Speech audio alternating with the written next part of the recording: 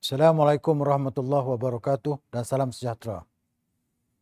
Di kesempatan ini, saya ingin mengucapkan selamat menyambut tahun baru 2022 kepada semua rakyat seberang perai. Marilah kita bersyukur kerana dapat mengharungi tahun 2021 yang penuh dengan rintangan dan cabaran.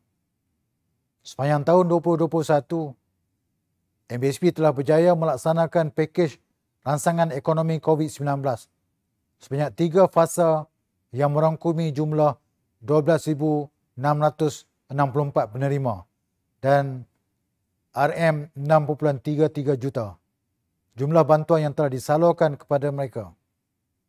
Justru saya ingin mengucapkan setinggi-tinggi penghargaan dan terima kasih kepada Yang Amat Berhormat Tuan Chow Kun Yew, Ketua Menteri Pulau Pinang, Yang Berhormat Jadi Seng Dio Anak Laki Kapal Sing, Ahli Majlis Mesyuarat Kerajaan Negeri Pulau Pinang, merangkap pengusi jawatan kuasa kerajaan tempatan, perumahan dan perancangan bandar dan desa.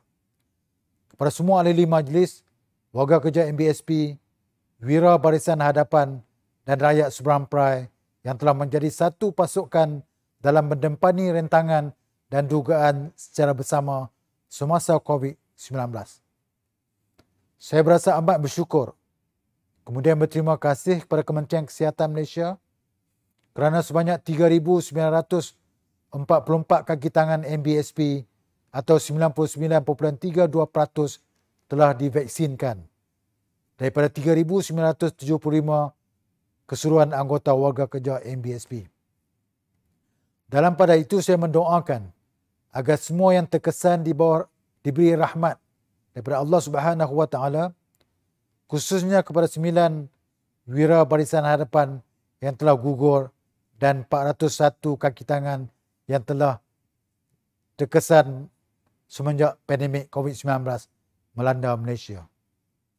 Selamat tahun baru 2022 seberampai aspirasi bandar masa hadapan. Saya doakan agar Allah memberi rahmat dan hidayah kepada kita semua. Sekian, terima kasih. Saya Nandre, thank you.